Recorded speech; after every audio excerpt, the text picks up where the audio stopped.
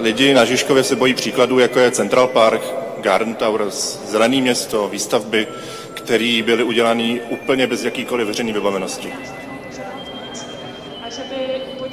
Nemyslím si, že existuje něco, jako je dobré řešení nebo špatné řešení, jak existuje něco, co je mezi vždycky a že je naše povinnost pracovat na tom, aby ten kompromis byl nakonec co nejlepší. Udělat výstavu v kempu je skvělý, udělat tady ten bod na zastupitelstvu je taky skvělý, ale že nám na to asi nebude stačit, že byste měli udělat ještě více pro to, aby ty lidi nebyli takhle znepokojení, jak dneska jsou. Lidi z toho mají velký strach, nemají všechny informace a dokonce dokázali dát dohromady petici, která má celkem jasné požadavky a jasné otázky. A zatím jsem si nevšiml, že by na ty otázky dostali odpovědi.